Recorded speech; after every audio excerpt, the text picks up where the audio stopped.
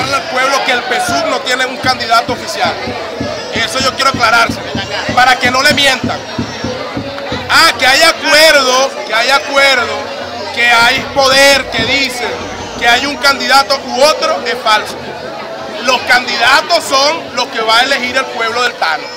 Y todos nosotros somos pesuvistas. Así que el PSU no tiene candidato, porque yo también soy de PSU y yo soy candidato al PSU. Entonces, ¿qué te digo? ¿Por gobernadora eh, inscribió una candidatura o por lo menos eh, asomó algunos nombres y otros no, especialmente el tuyo? ¿Por qué no, no se hizo eso? Bueno, porque quizás la gobernadora en lo personal pudiera tener su candidato. Licetica pudiera tener sus candidatos, pero desde el comando debe ser equilibrado, estoy seguro que va a ser equilibrado.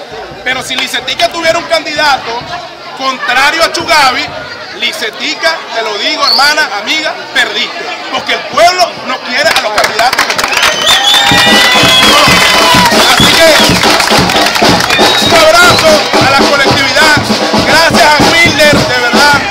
Gracias César, gracias Yelitza. Gracias a toda la gente